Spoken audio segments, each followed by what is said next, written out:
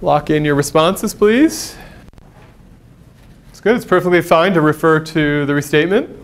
That's not, or refer to the materials that I gave you, the instructions that I gave you, the introduction that I gave you to capacity. All right, so we got 26 responses. Um, uh, we're right at the borderline. Uh, let's take 30 seconds. Don't change your answer, okay? So I'm going to stop delivery of that question. Um, don't change your answer, and I'm going to go ahead and deliver it again. Um, so take 30 seconds, talk in your groups, and see if you can get to the cons uh, consensus on the answer. No, don't put in another answer. Yeah. Talk first. That's the idea. Confer in your groups.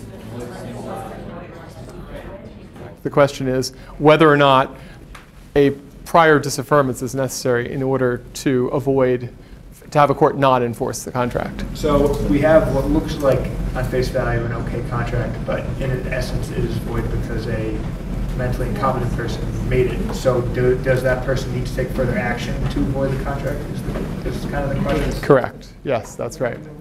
Okay, lock in your answers. Yeah, all right. Well, I'm going to show you the results. Um, this is this is. Definitely better, although we didn't improve quite as much as I would have hoped. Okay, so here's the deal. This is a little bit related to what I was just talking about with Sam's group over there. What's going on here is we have a contract that is void because it was entered into by somebody who's under guardianship and in particular is mentally incompetent, right? So the contract is void ab initio, right? Meaning from the start. I don't use Latin very much, but I like that one. Um, so, uh, so, the, so the contract is void, and now the question is, is there any other action that the um, guardian has to take in order for the contract to not be enforced? Well, the, the fact is that the party seeking enforcement of the contract will be the other party, right? They go to court and try to enforce it. And no, the other, the, the, guardian doesn't have to disaffirm the contract because all the guardian has to do is come in and say it's void, right? It was void from the start because this person has a guardian, is mentally incompetent, and that's what the rule is. Sam. But if you had to go into court and say like this person is incompetent, isn't that formally disaffirming the contract? No. Well, I mean, I guess what I'm saying, I'm using disaffirm in the conventional sense, which is to give notice to the other party that you no longer wish to be bound by the contract. Okay? So that's what it means to disaffirm a contract.